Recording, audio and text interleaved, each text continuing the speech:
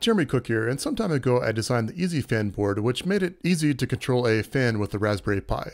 I also made a script to help control this, but now Raspberry Pi has added this functionality into Raspberry Pi OS. And I found out that apparently you don't even need a transistor board like this to control a fan if it's got a PWM input. So in this video I'm going to show you how to set up your Pi to control a PWM fan without any extra hardware and I'm also going to show off my EZ Fan 2 fan control board, which uses surface mount parts to make it really small and makes it easy to control simple fans that don't have a PWM input line. Lots going on in here, but basically it's going to be all you need to know about controlling your fan with the Raspberry Pi. Shown here is the EZ Fan 2. It's really small. In fact, that's a US penny that it's sitting on. And notably, it's not going to control really big fans, but just uh, small fans that take 0.6 amps or less. So let's, uh, let's take a look at how to actually turn this on based on the Raspberry Pi operating system. You just go to Preferences and then Raspberry Pi Configuration. From there you can go to Performance and then you can turn on the fan. You can enable it. I already had it enabled, so disabled it, enabled it. And you can turn on the GPIO pin that you use to turn it on.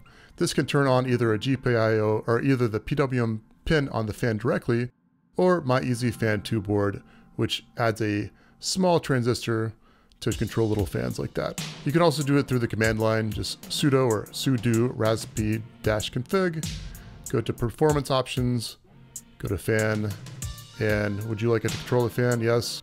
Yes, you do.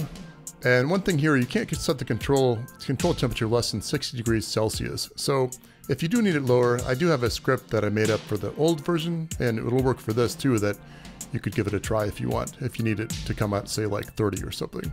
At that point, you gotta reboot, gotta do this with the GUI as well. Then your video capture device goes to the test screen, just like when you woke up before the TV actually came on as a little kid. Or maybe that was just me. Getting to the hardware of how this works, you've got a red cable, a black cable, and then a orange cable in this particular fan. Plug the red in to 5 volts, plug the black in to ground, and then the orange PWM pin goes into 3.3 volts. That turns it on. That that red that orange pin just kind of regulates it. So I guess it's got a transistor on board the fan, although I, I haven't taken it apart to that level. Unplug it, plug it back into 5 volts, and you know this is actually a 12 volt fan, but it seems to run fine on on 5 volts slash 3.3 volts control.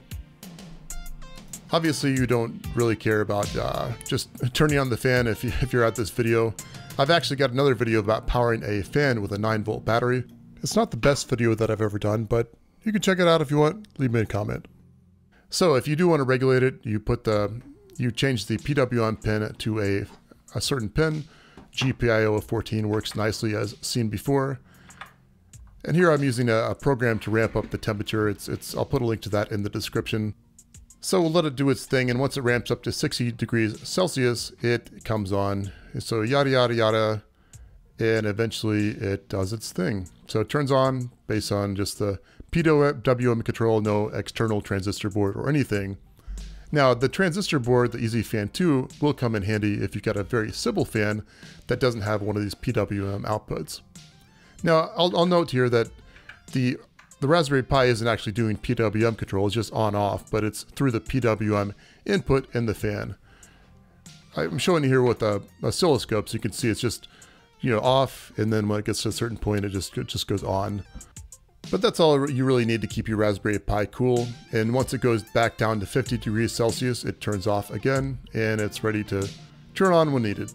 So it works, works out nicely. On some other fans, you don't have a PWM input, so you will need a transistor in the middle, but you've got this yellow cord that, you know, what what is that doing? Well, actually, this actually does a an output, so you can monitor the speed of the fan. Pretty cool, you could have a whole sort of closed loop system, and I believe most fans have this. Most fans that have the PWM input have this sort of output, I believe. So you plug that into 3.3 volts, doesn't really do anything. You can't, you can barely see this fan. In fact, I wouldn't, I wouldn't necessarily recommend using one this small. Nonetheless, when you plug the power in, it makes a really cool, cool signal to the oscilloscope.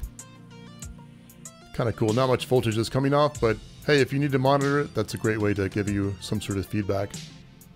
Again, you could do some sort of closed loop PWM control with this, but that's a little out of the scope of this tutorial. Switching gears a bit, I thought I'd show off how I put together the EZ Fan 2. Little solder paste, put the components on, and then it's time to heat it up.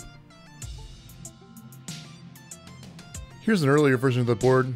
I had to change a few things around, but it looks, the time lapse here looks awesome. It's a little harder to film when the headers aren't on. Looking good. And then you put the headers on. I use some special 90 degree headers that have the plastic parts that fit partially flush to the board itself. So it's very thin and very small. As shown earlier, it fits on, on a US Penny, which is awesome. I even snapped off these headers on the bottom to make it easier to ship and to hopefully fit inside your case.